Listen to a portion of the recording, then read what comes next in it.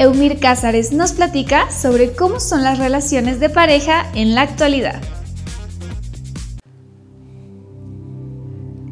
Las relaciones de, pareja en la actualidad son un tema que de alguna forma nos llega a visualizar cómo las diferentes circunstancias que estamos viviendo de alguna manera nos están determinando en cada una de nuestras interacciones. Pero, pues en ese sentido, hablar de las relaciones de pareja es hablar justamente de una de las partes más humanas e históricamente definitorias pues de nuestra existencia, ya que como seres gregarios pues nosotros constantemente vamos a estar desenvolviéndonos a partir de familiarizarnos, a partir de socializarnos justamente y generar cierta intimidad con ciertas personas de nuestro alrededor. En este caso, pues las relaciones de pareja serían una condición mera y fundamentalmente humana. Pero ¿cómo son las relaciones en la actualidad? Pues bien, a diferencia de tiempos anteriores en donde las relaciones se establecían en un término casi indefinido, es decir, ese famoso felices para siempre, que pues de felices pues ya pondríamos los signos de interrogación al respecto de eso, pues veríamos que la actualidad se circunscribe a partir de una dinámica de una búsqueda de relaciones cada vez más en términos de la individualidad.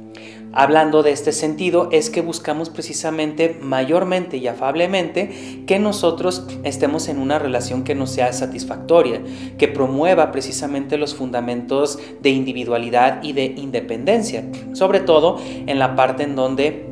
ambos este, integrantes se desarrollen en los ámbitos profesionales, en los ámbitos personales, en los ámbitos de esparcimiento y también de interacción social con otros este, personajes y con otros grupos sociales. Sin embargo, como lo diría Sigmund Bauman en su texto Amor líquido, cada vez las relaciones parecen ser cada vez más efímeras, cada vez más este, endebles y esto deviene precisamente por un precepto del capitalismo que hemos adoptado de manera este, natural, de manera este, cotidiana y que tiene que ver justamente con la parte de que si no me da una satisfacción inmediata, si no me da una gratificación inmediata, esto no está funcionando. Lo cual ha derivado justamente en que haya una constante demanda de que el otro me haga feliz, de que el otro se haga cargo del el amor que me puede dar y que de yo le puedo dar. Sin embargo, pues en este sentido estamos hablando de que cada vez las relaciones humanas tienden justamente a esta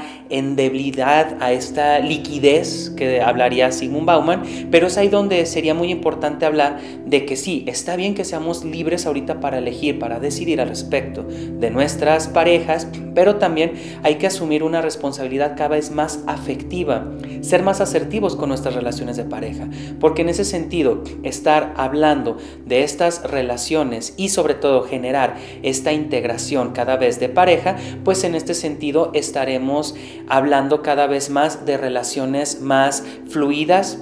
de relaciones más responsables, más maduras, cuando precisamente no es una demanda hacia el otro, sino que son dos individuos que se están haciendo cargo de sí mismos y están compartiendo justamente estas diferentes dinámicas. Es por eso que la recomendación en este sentido es no hay que buscar la gratificación inmediata en las relaciones de pareja, ni tampoco aguantarnos en ese sentido, pero sí hay que ser responsables y hay que buscar el bienestar y la responsabilidad y madurez emocional.